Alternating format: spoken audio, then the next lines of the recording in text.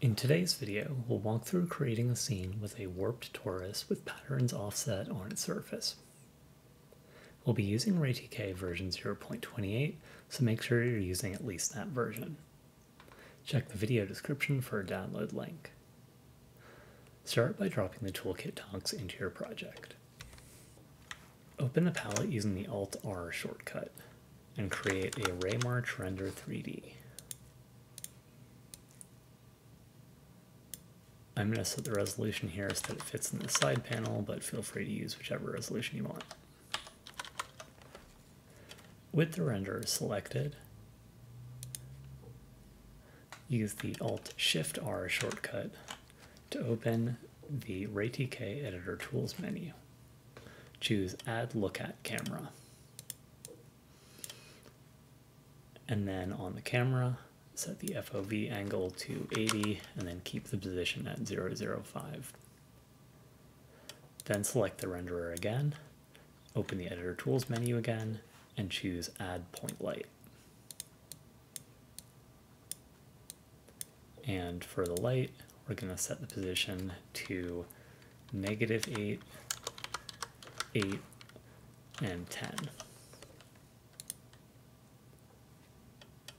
Next, we'll set up our SDF.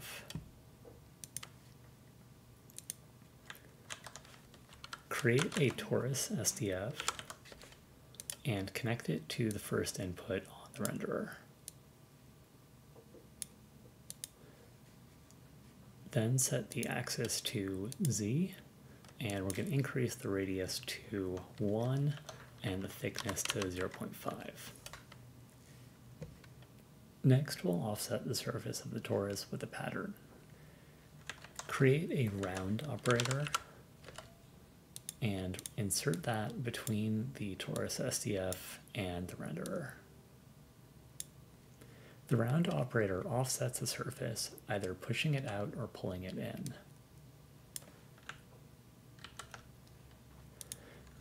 Create a Truchet pattern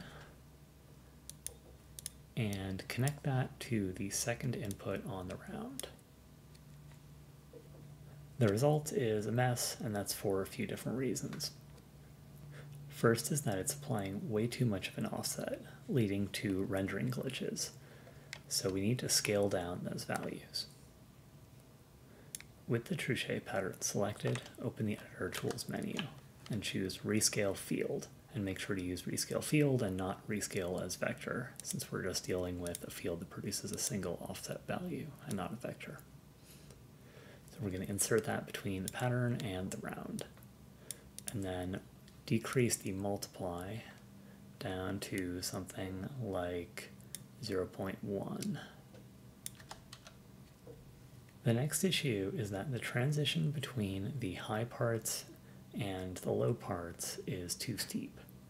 So on the true Truchet pattern, we're going to increase the blending up to 0.1, and that's going to smooth out those transitions. Try adjusting the curve to go from a straight diagonal line pattern to these kind of curved patterns all the way up to kind of a rounded grid. So between that and the thickness setting, which controls the thickness of the those lines, and the blending, you can get a whole bunch of different looks. But I'm going to go here with uh, 0 0.1, 0 0.1, and then say 1.5. The next issue is that this pattern doesn't fit properly onto the torus. This is one of the most common questions that I get about RayTK from the community. So if you try adjusting the translate settings on the pattern here, you'll see that it's basically just projecting that pattern along the XY plane. And that's the default behavior for pattern operators when you use them in a 3D context. To change the shape of the pattern, we have two options. First, we could use transform filters to reshape it so that it fits more closely. That approach can be more difficult, but it can be used for all different types of surfaces. The alternative, which we're going to use here, is to use surface-specific UV coordinates to drive the pattern. This option is only available for certain SDFs and doesn't necessarily account for transforms that are applied to the surface between where it's initially defined and where you're using it. The first thing that we need to do is enable UV coordinates on the SDF. On the torus SDF, I'm going to change the UV mode to torus. So when the renderer asks the torus SDF for the closest surface to a point in space, it will do its regular calculations to find the distance, but then it will also calculate UV coordinates based on the settings of the torus and where the renderer is asking about, and attach that to its response.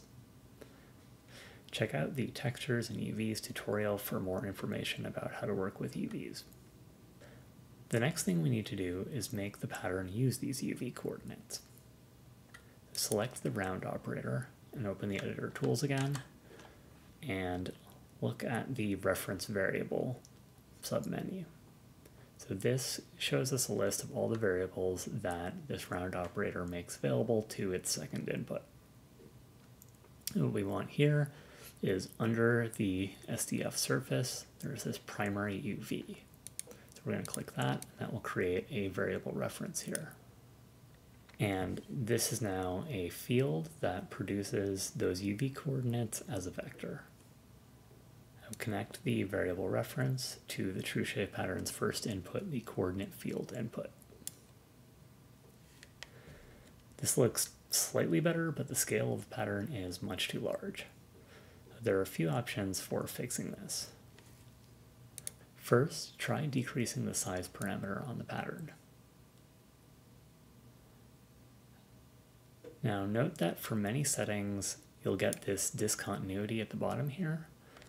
And that's where the u coordinate goes from 0 to 1, it crosses that boundary there. And we need to make sure that our pattern smoothly repeats across that boundary. For Truchet pattern, it tiles cleanly at whole number coordinates. So by choosing a size that's 1 divided by a whole number, it will repeat properly. So if we go with 0.25, that will work, or 0.125, or any other uh, whole number division like that. So if we have the setting set to 0.25, that's effectively the same thing as having that u coordinate and the v coordinate go from 0 to 4 instead of 0 to 1. So that's why we get this kind of four steps of the pattern around the ring there. But it would be good to have separate control over the axes, so let's set that size back to 0.5. Now you may think that you could use a scale operator or another type of transform filter here after the pattern. So create a scale and insert that between the pattern and the rescale field here. But you'll notice that this doesn't do anything. And that's because we've connected a field to the coordinate input of the pattern, which means that it's totally ignoring the regular spatial coordinates and just using the coordinates that it gets from this input. So delete that scale operator and reconnect that rescale field. Instead, we want to modify the vectors that are coming out of this variable reference before they're passed to the pattern. There are ways that we can use transform filters on field values like this, but there's a simpler option that we can use. Select the variable reference and open the editor tools and choose rescale field. And then we're going to connect that to the pattern.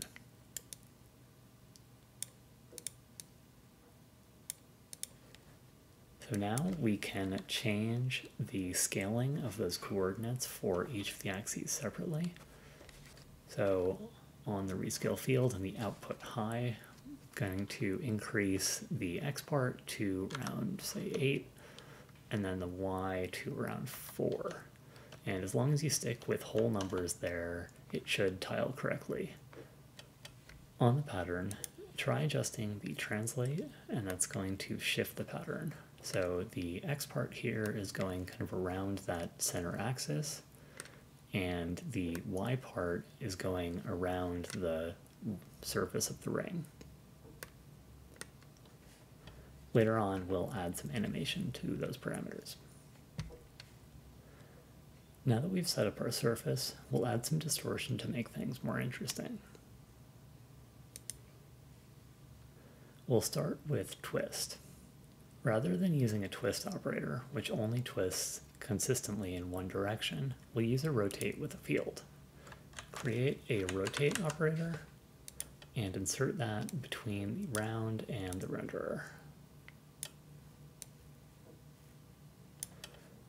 Then change the rotate mode to axis. So this is just going to do rotation around a single axis, in this case the Y. Create a wave field and connect that to the second input, the rotate field input on the rotate operator. And set the axis there to Y.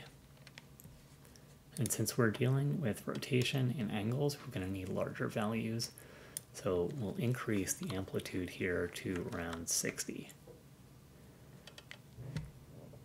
Then we can increase the period to say 4 to stretch out the wave there.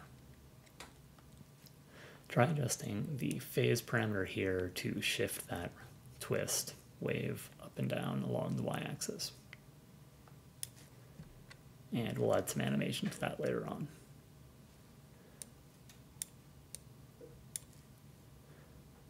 Next, we're going to be adding some four-dimensional rotation. This is a new feature added in version 0.28 of the toolkit. Create a rotate 4D operator and insert that between the rotate and the renderer. set the plane to ZW, and then try increasing this rotate setting. This operator remaps space into four dimensions using what's called inverse stereographic projection. Then it applies rotation along two of the axes, in this case Z and W, and then it maps those 4D coordinates back into 3D space using stereographic projection. The result is a bit hard to describe, so it's helpful just to experiment with it and see what it does. But it sort of turns things inside out. One of the challenges with 4D rotation is that it can cause surfaces to reach out and intersect with the camera blocking the view. So if you switch the plane to XW and try the rotation there, you'll get some points where that surface is blocking the camera view and everything goes dark. So switching back to the ZW axis there, it helps to avoid that problem. And that's because the camera is straight in front of the shape on the Z axis. So rotating on ZW is less likely to cause issues where it intersects the camera. But that can be different for different types of surfaces. So it's good to just experiment and find safe ranges for those values. I'm going to go with a rotation here of around 70 and try adjusting the phase on the wave field that's driving the rotation before the 4D rotation, and you'll get some interesting motion there. Next, we'll set up our material. Create a modular mat and insert that between the rotate 4D and the renderer. Then with the modular mat selected, open the editor tools and under add diffuse, choose Oren Nayar. Then increase the roughness and albedo both to one. And then pick a color. I'm going to go with a slight gold tint, so I'm going to go 1.9 and 0.8. And that gives us some standard diffuse shading on the surface. Next, create an iridescence contrib and connect that to the next input on the modular material. This shading element uses the surface angle relative to the view angle to produce rainbow patterns. Try adjusting the levels of the iridescence contrib and the diffuse to change the balance of those two types of shading. Note that the iridescence contrib totally ignores the light position since it's only based on the surface normal and not on any kind of light-based shading. Next, we'll add some animation to get things moving. We'll start with our surface pattern. Select the Truchet pattern and open the Editor Tools menu. Then under Animate with Speed, I'm going to choose Translate Y. Now you could animate both parts of that, but since the first one just kind of spins the pattern around that center axis, it's not as interesting, so I'm just going to be doing the Y part. Then adjust the speed multiplier to say around 0.2 to slow that motion down. Next we'll animate the twisting. So on the wave field, select that, open the editor tools, and under animate speed, choose phase.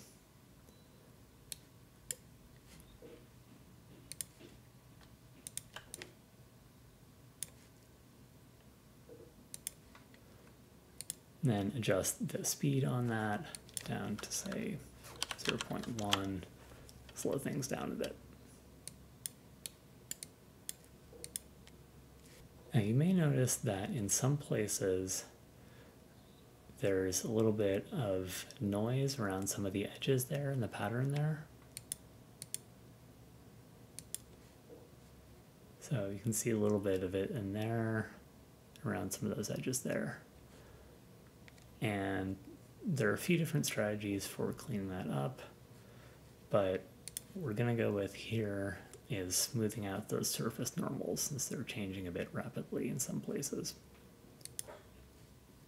So on the renderer, go to the settings page, and then switch on enable normal smoothing. And then we're going to bump that up just a little bit to around 0.02 and that will smooth out some of those rough parts without totally blowing out the surface pattern. So to recap, we are starting with a torus SDF and we're then offsetting that using a round operator. And to drive that round operator, we're using a Truchet pattern and we're using the UV coordinates provided by the torus SDF with this UV mode setting, accessing those the variable reference pointing to that round operator, then rescaling them so that we can change the scale of our pattern there, and then we are rescaling the values that come out of that pattern to adjust how much it's offsetting the surface.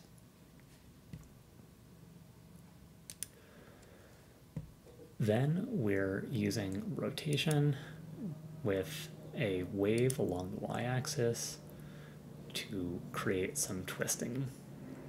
And then we're applying 4D rotation along the ZW plane. And finally, we are using a modular material here with diffuse shading and then also some of this iridescence.